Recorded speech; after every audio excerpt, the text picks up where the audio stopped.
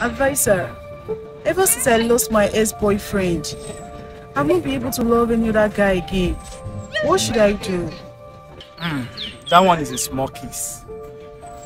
I think you should try and mingle with guys. Talk with guys. I believe you will love again. That's my advice. I've tried. I've tried.